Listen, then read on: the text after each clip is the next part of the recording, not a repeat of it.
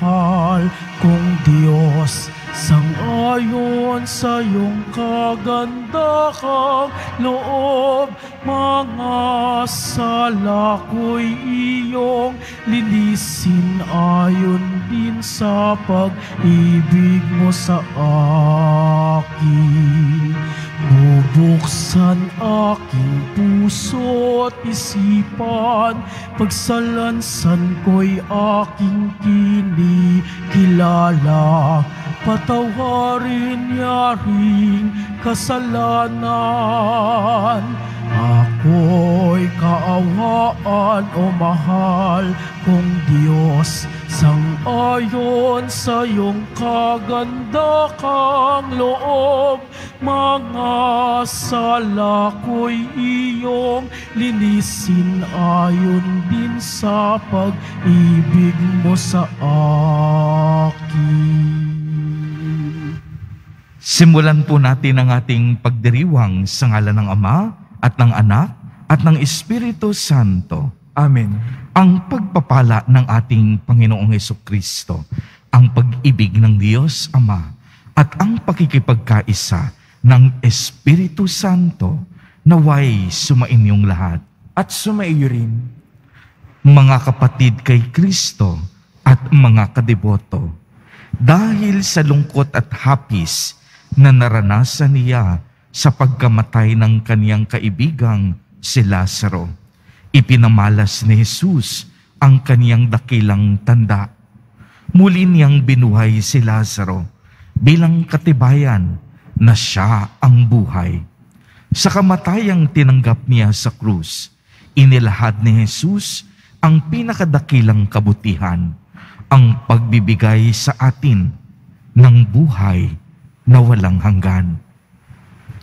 At upang tayo ay maging karapat-dapat gumanap sa banal na pagdiriwang, ay aminin po natin at pagsisihan ang ating mga kasalanan. Inaamin ko sa makapangyarihang Diyos At sa inyo mga kapatid, na lubha akong nagkasala sa isip, sa salita at sa gawa, at sa aking pagkukulang. Kaya isinasamo ko sa mahal na Birheng Maria, sa lahat ng mga anghel at mga banal, at sa inyo mga kapatid, na ako'y ipanalangin sa Panginoong ating Diyos. Kaawaan tayo ng makapangyarihang Diyos. Patawarin tayo sa ating mga kasalanan at patnubayan tayo sa buhay na walang hanggan. Amen. Panginoon, kaawaan mo kami. Panginoon, kaawaan mo kami. Kristo, kaawaan mo kami. Kristo, kaawaan mo kami. Panginoon, kaawaan mo kami. Panginoon, kaawaan mo kami. Manalangin tayo. Ama naming makapangyarihan, alang-alang sa dakilang pag-ibig ng iyong anak, na siyang nagbunsod upang mahalin niya ang lahat. Ano pat kusa niyang inako ang mamatay para sa sanlibutan. Kami naway masigasig na tumahak sa kanyang dinadaanan sa iyong pag-akay at sa kanyang pamamagitan kasama ng Espiritu Santo magpa sa walang hanggan. Amen. Magsiupo muna ang lahat.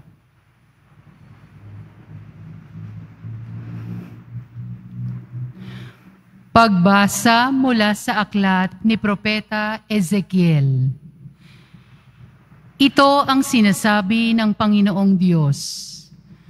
Magpahayag ka, sabihin mong ipinasasabi ko, Bayan ko, ibubukas ko ang inyong libingan, ibabangon ko kayo at iuuwi sa inyong bayan.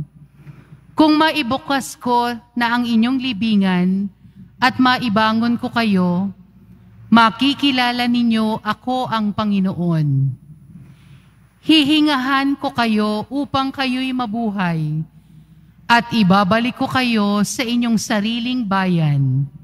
Sa gayon, malalaman ninyo na ako ang Panginoon, ang nagsabi nito at aking gagawin. Ang salita ng Diyos. Salamat sa Diyos. Sa piling ng poong Diyos, may pag-ibig at pagtubos. Sa piling ng poong Diyos, may pag-ibig at pagtubos.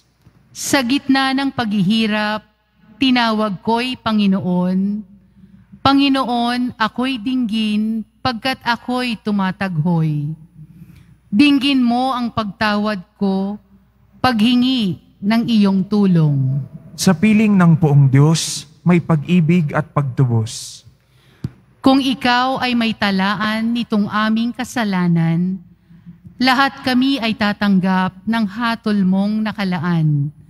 Ngunit iyong pinatatawad, kasalanan ay nilimot, pinatawad mo nga kami upang sa iyo'y matakot. Sa piling ng poong Diyos, may pag-ibig at pagtubos. Sabik akong naghihintay sa tulong mo, Panginoon, pagkat ako'y may tiwala sa pangako mong pagtulong.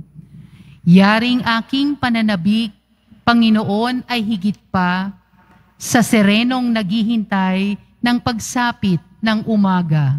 Sa piling ng poong Diyos, may pag-ibig at pagtubos.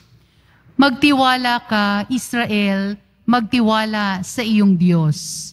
Matatag at di kukupas ang pag-ibig niyang dulot Lagi siyang naghahandang sa sino man ay tumutubos, ililigtas ang Israel yaong kanyang mga hirang, ililigtas niya sila sa kanilang kasalanan. Sa piling ng poong Diyos, may pag-ibig at pagtubos.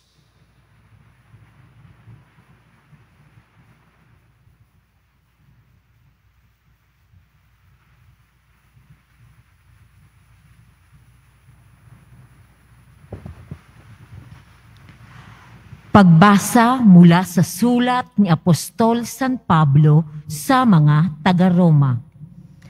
Mga kapatid, ang mga nabubuhay ayon sa laman ay hindi maaring kalugdan ng Diyos. Ngunit hindi na kayo namumuhay ayon sa laman, kundi ayon sa Espiritu. Kung talagang nananahan sa inyo ang Espiritu ng Diyos. Kung ang Espiritu ni Kristo'y wala sa isang tao, hindi siya kay Kristo.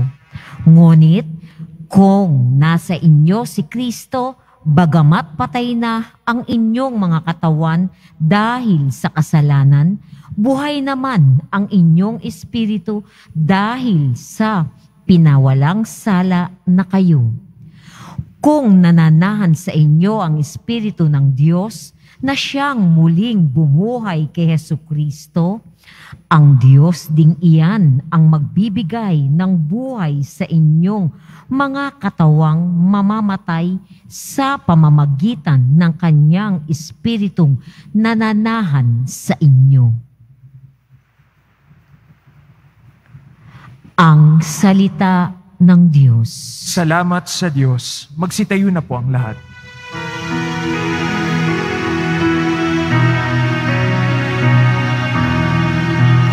Nagpupuri kami sa'yo, Panginoong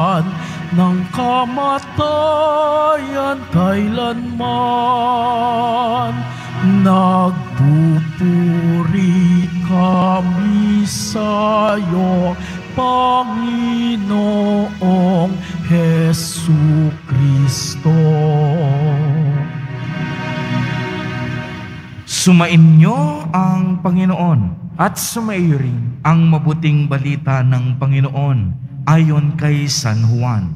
papuri sa iyo, Panginoon.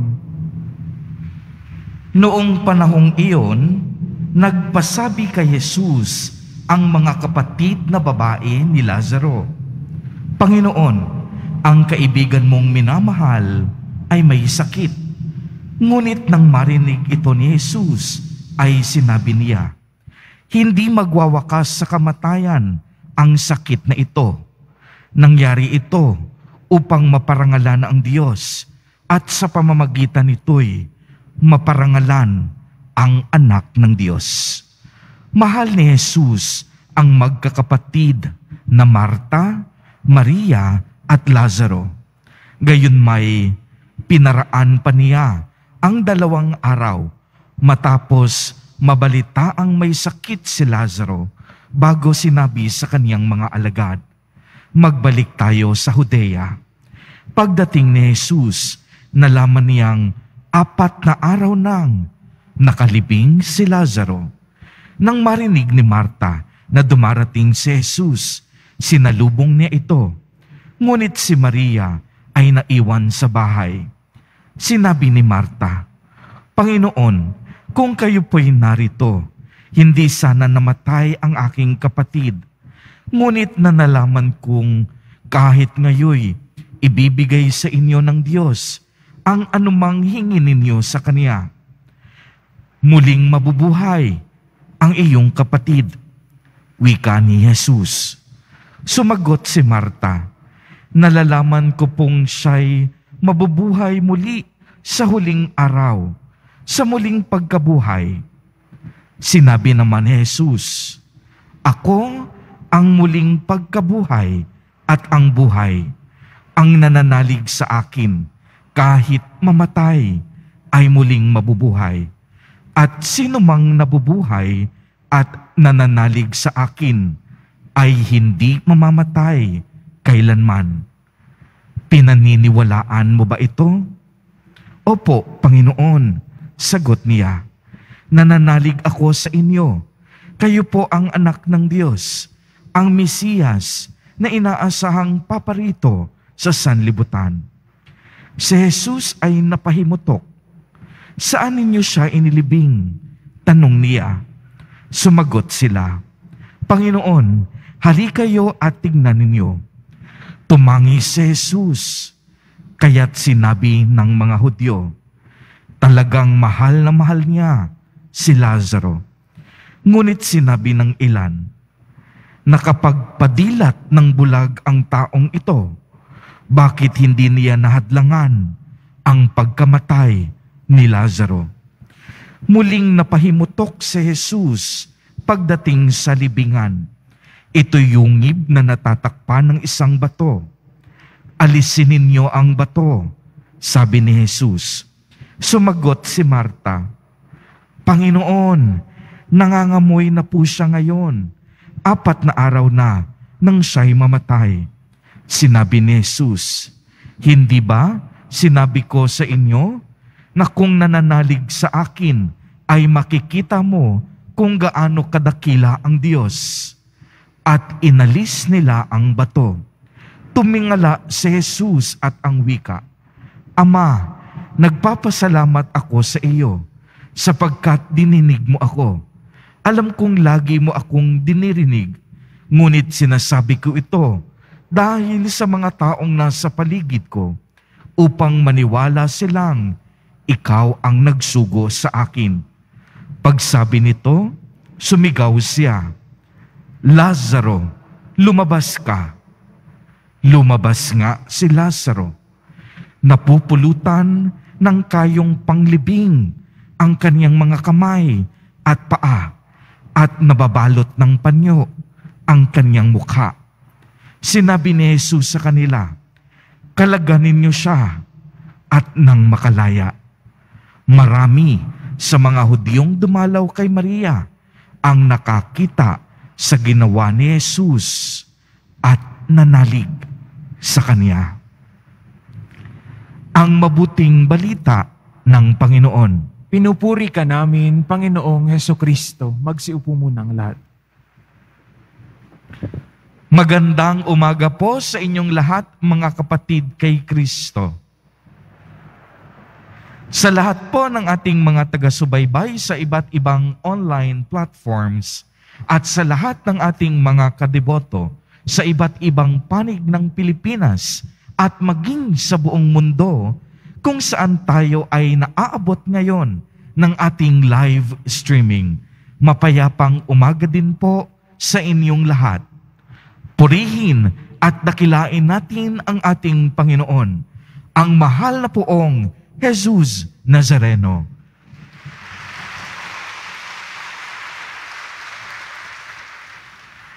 Mga kapatid kay Kristo at mga kadeboto, tayo po ngayon ay nasa ikalimang linggo ng Kwaresma. Ngayon po ay hudyat na, na sa susunod na linggo, papasok na tayo sa pinakataimtim at pinakabanal na paggunita ng sambayan ng Kristiyano, ang Semana Santa, na kung saan ay aalalahanin natin ang misteryong Paskwal ng ating Nuestro Padre, Jesus Nazareno, ang kaniyang pagpapakasakit, ang kaniyang kamatayan, at ang kaniyang muling pagkabuhay. Kaya nga kung mapapansin ninyo, ngayong linggo ay tinatakpan na natin ng telang lila ang lahat ng mga imahe sa loob ng ating sanktuaryo bilang tanda na tayo'y nalalapit na sa pagpasok sa misteryo ng ating pananampalataya. Sinasabi sa atin ngayon na nararapat lamang na tayo ay maghanda sa mas matindi at mas malalim na pagninilay habang tayo ay nakatuon sa mga paghihirap at pagsasakripisyo ng ating mahal na poong Jesus Nazareno. Kaya naman po, kung inyong mapapansin, ang mga pagbasa natin sa linggong ito ay nakatuon sa mahalagang bagay, ang pagkamatay at ikalawa, ang pagkabuhay na maguli ng ating Panginoon. Sa unang pagbasa na ating narinig, ang pangitain ni Propeta Ezekiel. Ito ay tungkol sa mga tuyong buto na kung saan sumasagisag dito ang mga tao ng Huda na nababalot ng kadiliman. Tanda ito ng kanilang pagsuway at pagtalikod sa Diyos pinaniniwalaan po na ang kanilang pagkakatapon sa Babylonia ay bunga ng kanilang matinding pagkakasala sa ating Panginoon. Ngunit maliwanag din nating narinig na hindi pinabayaan ng Diyos kahit ang mga taong nagkasala at nagdurusa. Uulitin ko, hindi pinabayaan ng Diyos kahit ang mga taong nagkasala at nagdurusa. Nagsalita ang Panginoon sa pamamagitan ni Propeta Ezekiel na ibabangon niyang muli ang mga taong nasa kadiliman at libingan upang manumbalik sa lupain ng Israel. Sa ikalawang pagbasa naman po, ay maliwanag na sinasabi sa atin mula sa sulat ni Apostol San Pablo sa mga taga-Roma na tayong lahat nararapat mabuhay sa Espiritu ng Diyos. At wag daw po tayong mabuhay sa Espiritu ng laman. Kung tayo ay nasa panig ni Kristo, bagamat patay ang ating mga katawan dahil sa kasalanan, buhay naman ang ating espiritu dahil tayo ay pawawalang sala ng ating Panginoon. Sa ating ibanghelyo naman, narinig natin ang dakilang himala at kababalaghan na ginawa ng ating mahal na poong Jesus Nazareno. Binuhay niyang muli ang kanyang kaibigang si Lazaro mula sa kamatayan. Kung mapapansin po ninyo, sa pambihirang pagkakataon, ang ating Panginoon nanangis at umiyak. Uulitin ko, sa pambihirang pagkakataon, ang ating Panginoon nanangis, umiyak, napaluha sa kamatayan ng kanyang kaibigan. Maliwanag na ang ibig sabihin, ang ating Panginoon hindi naghahangad ng ating kamatayan. Hindi ninanais ng Panginoon na tayo ay mamatay. Kaya anong ginawa ng ating Nuestro Padre? Binuhay niyang muli ang kaniyang namatay na kaibigan. At ito ang hangarin ng Panginoon sa bawat isa sa atin na hindi tayo mapako sa kamatayan ng kasalanan at pagdurusa. Nais ng Diyos, hanguin tayo mula sa putik ng ating kasalanan. Nais niyang hanguin tayo sa ating pagdurusa at bigyan tayo ng isang buhay na ganap at kasiyasiya. Isang buhay na hindi matatapos.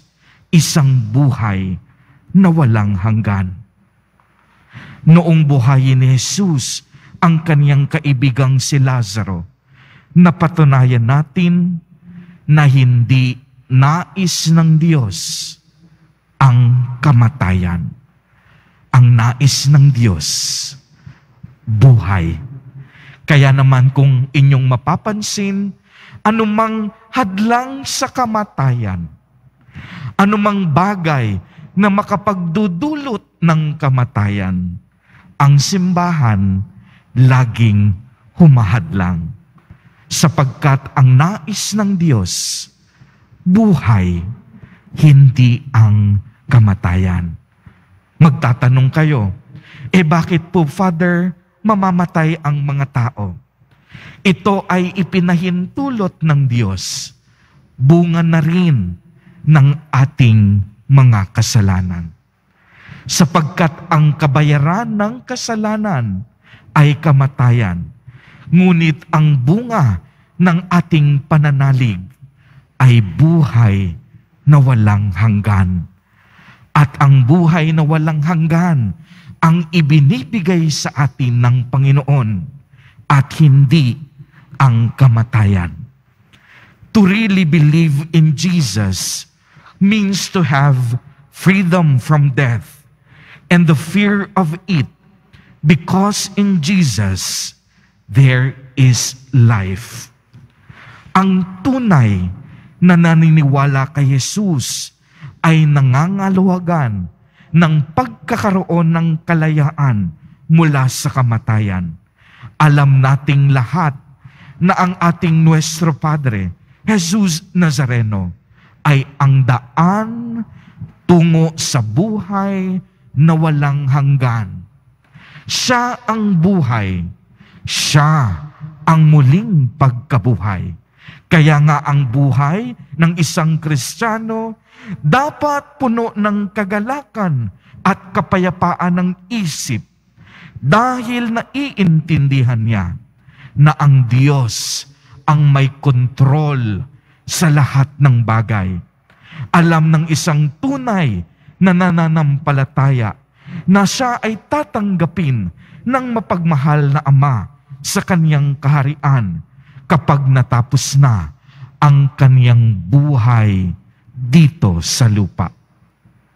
Mga kapatid kay Kristo at mga kadeboto, isang magandang paalala sinasabi sa atin, ang buhay natin dito sa lupa, panandalian lamang. Uulitin ko, maliwanag, pinapaalala sa atin, ang buhay natin sa lupa, panandalian lamang. Kung tutuusin, napakaigsik ng ating buhay dito sa lupa. In English, life is short. Lahat tayo mamamatay. Lahat tayo mamamatay kagaya ni Lazaro. Subalit hindi ang kamatayan ang nais ng Panginoon. Nais niya tayong buhayin muli upang magtamo ng kaligtasan. Ang atin pong Nuestro Padre Jesus Nazareno ay ang unang nabuhay mula sa mga patay. Kaya kung paano naman niya binuhay si Lazaro dito sa lupa, ganito rin ang gusto ni Kristo. Buhayin tayo hindi sa lupa, ngunit sa buhay na walang hanggan. Kaya huwag tayong matakot mamatay kung alam nating nabubuhay tayo sa kabutihan at pagmamahal. Uulitin ko mga kadiboto, napakahalaga. Huwag tayong matakot mamatay. Yan ay kung alam nating nabubuhay tayo sa kabutihan at pagmamahal. Matakot tayong mamatay kung hindi natin naihanda ng tama ang ating mga sarili. Ang atin pong Nuestro Padre, Jesus Nazareno, ay ang siyang tunay na kaganapan ng ating buhay. Siya ang tunay na ating muling pagkabuhay. Ngayon, mas pinalalalim natin ang ating pagninilay ngayong panahon ng kwaresma. Naway magsisi na tayo ng buong puso sa ating mga pagkakasala at naway maging taimtim din ang ating mga pagtitika at pagsasakripisyo. Hinihintay po tayo ng ating Diyos, kagaya ni Lazaro, sa ating muling pagbangon at pagbabalik loob. Amen. Purihin at dakilain natin ang ating Panginoon. Magsitayo po ang lahat at ating ipahayag ang ating pananampalataya. Sumasampalataya ako Sa Diyos amang makapangyarihan sa lahat na may gawa ng langit at lupa, sumasampalataya ako kay Yeso Kristo, iisang anak ng Diyos, Panginoon nating lahat. Nagkatawang tao siya lalang ng Espiritu Santo, ipinanganak ni Santa Mariang Birhen, pinagpakasakit ni Poncio Pilato, ipinako sa krus na matay inilibing, nanaog sa kinaroroonan ng mga yumao, nang may ikatlong araw na buhay na maguli, umakyat sa langit, naluluklok sa kanan ng Diyos amang makapangyarihan sa lahat. Doon magmungulang paririto at huhukom sa nangabubuhay at nangamatay na tao. Sumasampalataya naman ako sa Diyos Espiritu Santo, sa banal na simbahang katolika, sa kasamahan ng mga banal, sa kapatawaran ng mga kasalanan, sa pagkabuhay na muli ng nangamatay na tao, at sa buhay na walang hanggan. Amen. Minamahal kong mga kapatid, ngayon po ay ipinapaalala sa atin ng Panginoon na tanging sa Kanya lamang natin matatagpuan ang ating muling pagkabuhay. Patuloy tayong umasa at manampalataya sa pangako ng tapat nating Ama. Sa bawat panalangin ang atin pong itutugon, Amang matapat, ikaw ang aming muling pagkabuhay. Amang matapat, ikaw ang aming muling pagkabuhay. Panatilihin mong tapat sa pangako mong muling pagkabuhay kaming iyong simbahan. Kami dumadalangin. Amang matapat, ikaw ang aming muling pagkabuhay. Tulungan mo ang lahat ng mga namamahala sa kanilang pagsandig sa pangako mong muling pagkabuhay upang ang kanilang paglilingkod ay maging mabunga at puno ng pag-ibig. Kami dumadalangin. Amang matapat, ikaw ang aming muling pagkabuhay. Pukawin mo ang aming mga puso tungo sa pagsisisi at pagpapatawad habang kami papalapit sa mga mahal na araw sa aming pag-alaala sa misteryo paskwal ng iyong anak. Kami dumadalangin. Amang matapat, ikaw ang aming muling pagkabuhay. Itinataas din namin ngayon sa iyo ang mga kapatid naming dukha, mga indigenous people at iba pang minorya. Kami dumadalangin. Amang matapat, ikaw ang aming muling pagkabuhay. Biyayaan mo ng muling pagkabuhay ang mga mahal naming yumao, pagkasapit ng takdang panahon. Kami dumadalangin. Amang matapat, ikaw ang aming muling pagkabuhay. Itaas din natin ang mga kapatid nating nangangailangan ng panalangin, ang mga pangangailangan ng ating pamayanan, at ang ating personal na kahilingan. Kami dumadalangin. Amang matapat, ikaw ang aming muling pagkabuhay. Tapat naming Ama, pagkalooban mo kami ng bagong buhay sa pamamagitan ng pagpapakasakit, kamatayan at muling pagkabuhay ni Heso Kristong iyong anak at aming manunubos. Amen. Magsiupo po ang lahat.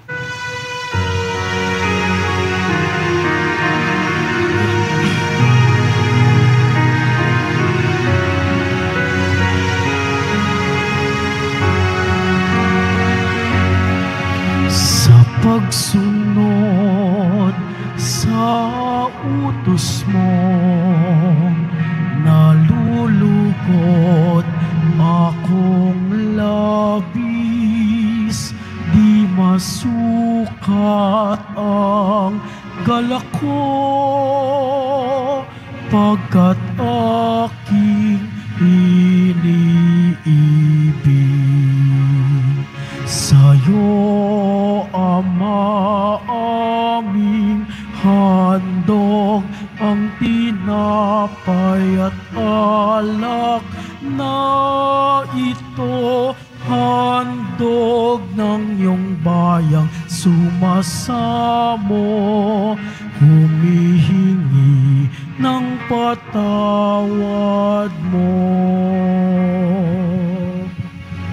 Magsitayo na po ang lahat.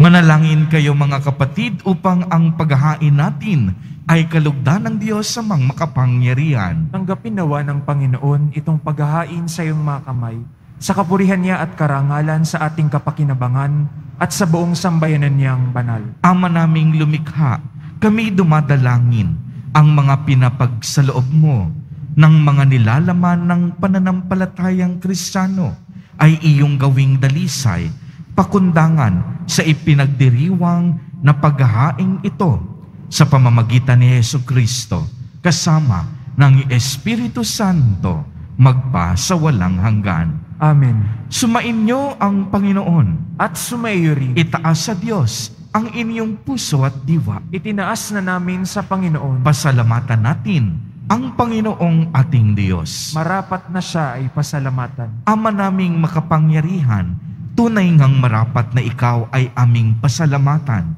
sa pamamagitan ni Yeso Kristo na aming Panginoon. Siya ay hindi naiiba sa amin, kaya't siya'y nagdadalamhati rin sa pagpanaw ni Lazarong kaibigang giliw. Siya'y hindi naiiba sa iyo, kaya't taglay ang kapangyarihan mo. Kaniyang binubuhay ang kaibigang yumao sa kaniyang pakikiramay sa sangkatauhan. Kami kaniyang pinakikisamahan upang maipagdiwang ang mga pahiwatig ng iyong pagmamahal na sa amin ay bumubuhay. Kaya kaisa ng mga anghel na nagsisiawit ng papuri sa iyo nang walang humpay sa kalangitan, kami nagbubunyi sa iyong kadakilaan.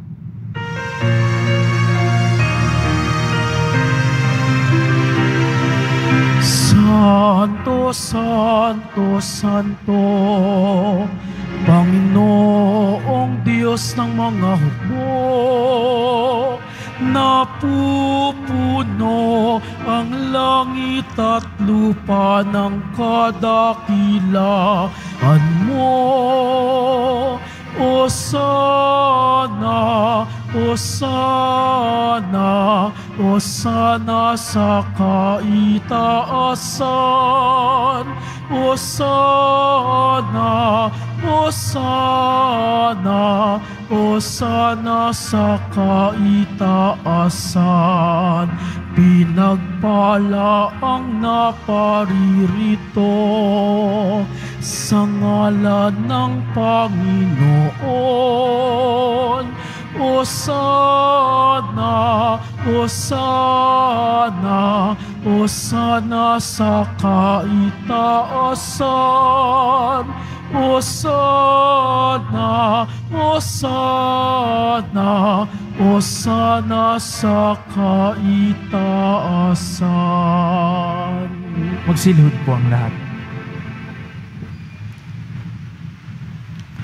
Ama naming banal, ikaw ang bukal ng tanang kabanalan. Kaya't sa pamamagitan ng iyong Espiritu, ay gawin mo pong banal ang mga kaloob na ito upang para sa amin ay maging katawan at dugo ng aming Panginoong Heso Kristo. Bago niya pinagtiis ang kusang loob na maging handog, hinawakan niya ang tinapay, pinasalamatan kaniya, pinaghati-hati niya iyon, iniabot sa kaniyang mga alagad at sinabi, Tanggapin ninyong lahat, ito at kanin. Ito ang aking katawan na ihahandog para sa inyo.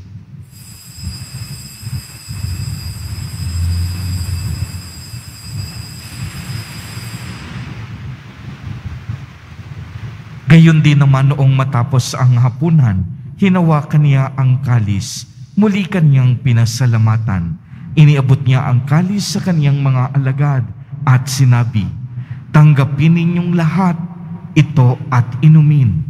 Ito ang kalis ng aking dugo, ng bago at walang hanggang tipan, ang aking dugo na ibubuhos para sa inyo at para sa lahat sa ikapagpapatawad ng mga kasalanan. Gawin ninyo ito sa pag-alaala sa akin.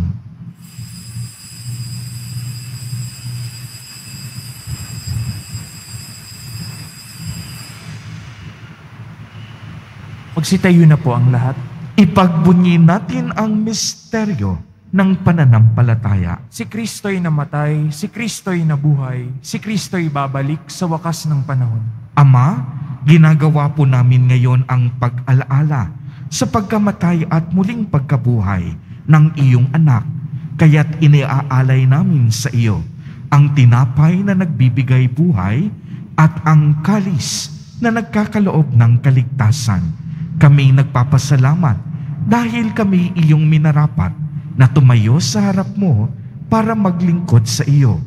Isinasamo namin na kaming magsasalo-salo sa katawan at dugo ni Kristo ay mabuklod sa pagkakaisa sa pamamagitan ng Espiritu Santo.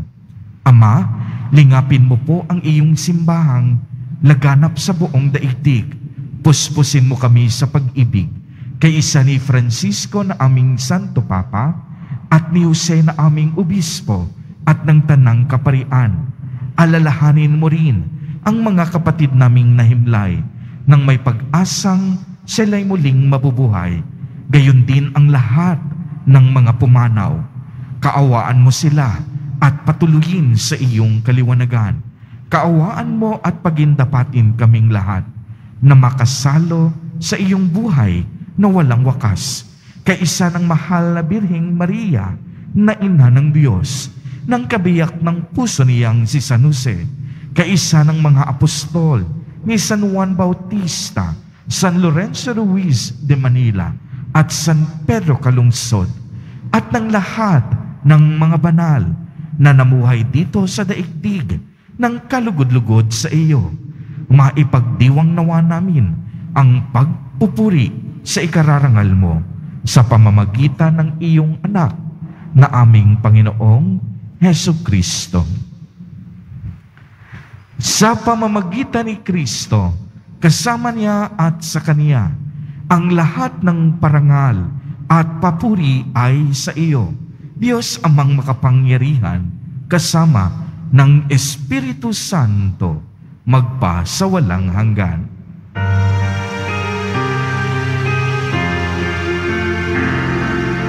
Amen. Amen.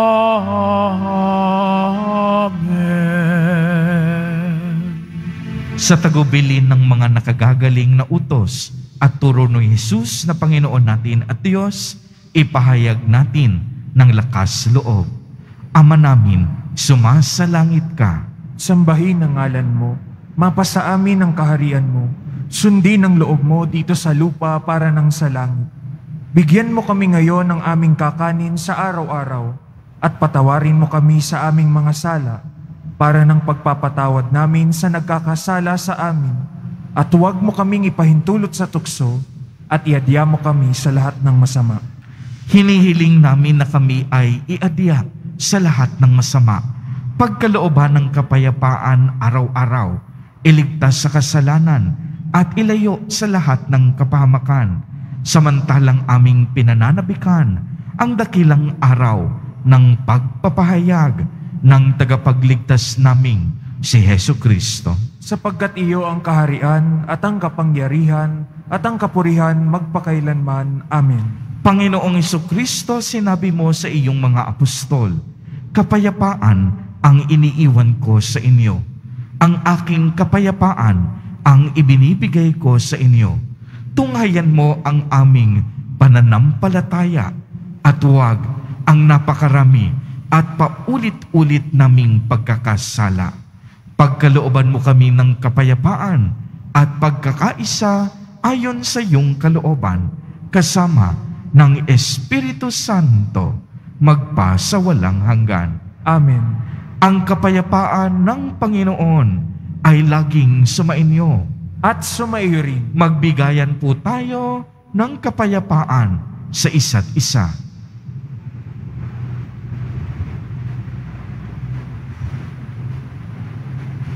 Kordero ng Diyos na nag-aalis ng mga kasalanan ng sanlibutan, maawa ka sa amin.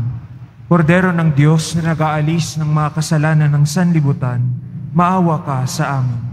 Kordero ng Diyos na nag-aalis ng mga kasalanan ng sanlibutan, ipagkaloob mo sa amin ang kapayapaan. Magsiluhod po ang lahat.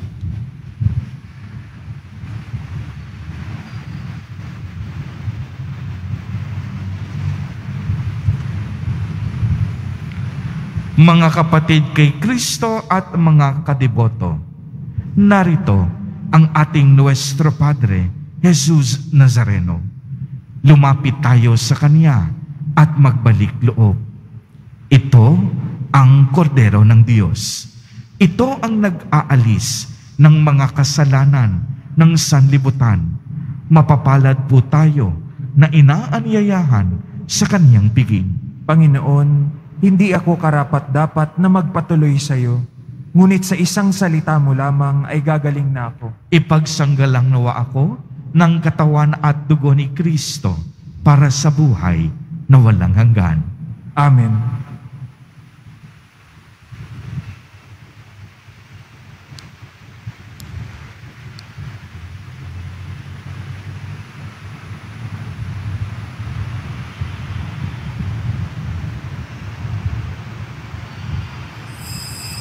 Para sa lahat ng tatanggap ng banal na komunyon, ang tamang paraan ng pagtanggap ay kaliwang kamay sa ibabaw ng kanang kamay at sasagot po tayo ng amen pagkasabi ng pari o lay minister ng katawan ni Kristo at isubo sa bibig bago umalis sa harapan ng pari o lay minister.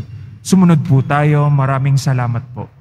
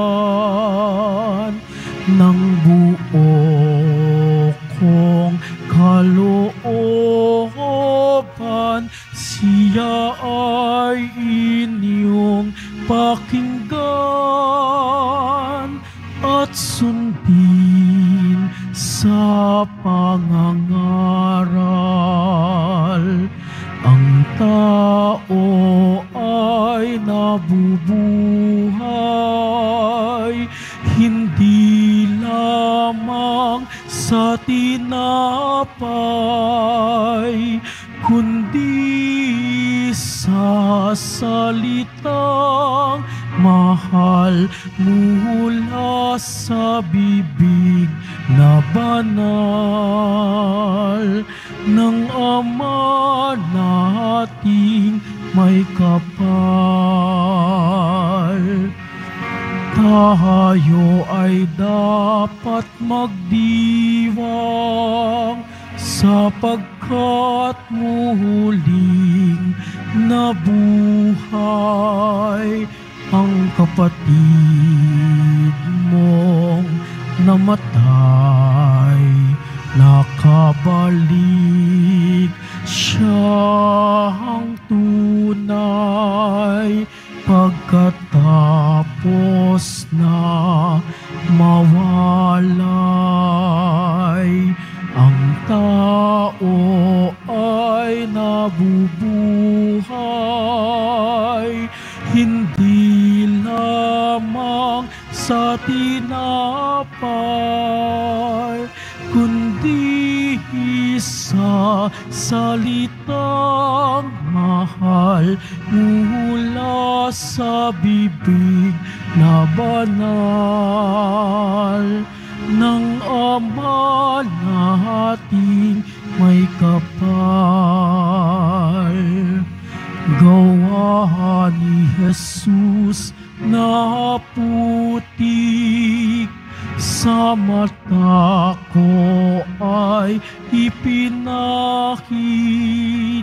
Hinugasahan ko ng tubig. Kabulagan ko ay naalis. Sa Diyos ako ay na nanalig ang tao ay nabubuhay lamang sa tinapay kundi sa salitang mahal mula sa bibig na banal. Ng Ama nating may kapal sa pag-inom ng sino man sa tubig na aking bigay. Di na muling mauuhaw pagkat ito ay bubukal sa buhay na walang hanggan. Ang tao ay nabubuhay, hindi lamang sa tinapay, kundi sa salitang mahal mula sa bibig na banal ng Ama nating may kapal. Ngayong panahon ng Kwaresma, tayo ay tinatawag na dagdagan ng ating pagsasakripisyo, pananalangin at pagkakawang gawa. Kaugnay nito, magkakaroon po tayo ng second collection para sa pondo ng Alay Kapwa. Ang malilikom dito ay gagamitin upang tumugon sa pangangailangan ng ating mga kapatid na may sakit, nagugutom at naging biktima ng iba pang kalamidad. Tinatawagan po tayo ng ating mahal na Arsobispo, Jose Cardinal Advincula Didi, na maging bukas palad sa ating kapwa. Maraming salamat po.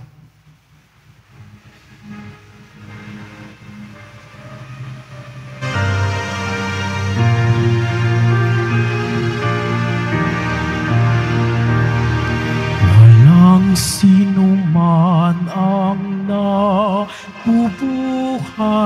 para sa sarili lamang. Walang sino man ang namamatay para sa sarili lamang. Tayong lahat ay may pananagutan sa isa't isa. Tayong lahat ay tinipo ng Diyos na kapiling niya. Ang lahat po ay inaanyayahan sa ating ikalimang Lenten Recollection sa darating na March 28, Martes, sa ganap na ikaputo ng gabi dito sa ating simbahan. Ang ating tagapagsalita sa araw na iyon ay si Reverend Father Rufino C. Sascon Jr., ang ating pong rector at parish priest. Maraming salamat po. Pinapaalalahanan ng lahat na huwag maging kampante sa banta ng COVID-19. Bagkos dapat natin ipagpatuloy ang tamang pagsunod sa minimum public health standards, pagsusuot ng tamang face mask. Pagkatapos ng misa, wiwisikan po ang lahat ng banal na tubig. Pinakikiusapan ng lahat na manatili lamang muna sa inyong mga lugar. Tanging sa Quezon Boulevard o sa Plaza San Juan lamang ang labasan ng lahat. Sumunod po tayo. Maraming salamat po sa inyong pagdalaw at pagsisimba sa Basilica Menor ng Itim na Nazareno. Magsitayo na po ang lahat. Manalangin tayo. Ama naming mapagmahal, kaming nakikinabang sa katawan at dugo ng iyong anak, ay mapabilang nawang lagi sa mga kaanib niya na nanamagitan kasama ng Espiritu Santo, magpa sa walang hanggan. Amen. Sumainyo ang Panginoon, At sumayo rin. pagbabasbas. Mahal na poong Jesus Nazareno, inihayag mo sa pamamagitan ng krus ang walang maliw na pag-ibig ng Diyos sa sangkatauhan. Pakinggan mo ang kahilingan ng iyong angkan na nagsusumamo sa iyo. Makamtanawa nila ang iyong katugunan at tanggapin ang kasagutan na may utang na loob na tinatanaw. Basbasan din po ninyo ang mga daladala nilang mga imahen at dasalan. Sa pamamagitan ng bendisyon na ito, naway maalala nila ang mga pangako nila noon sa binyag na ikaw ang kanilang iibigin at paglilingkuran bilang Panginoon magpa sa walang hanggan. Amen. At pagpalain po kayong lahat at ng inyong buong pamilya ng makapangyarihang Diyos, Ama, Anak, at Espiritu Santo. Amen. Humayo kayong taglay ang kapayapaan ng poong Jesus Nazareno. Salamat sa Diyos.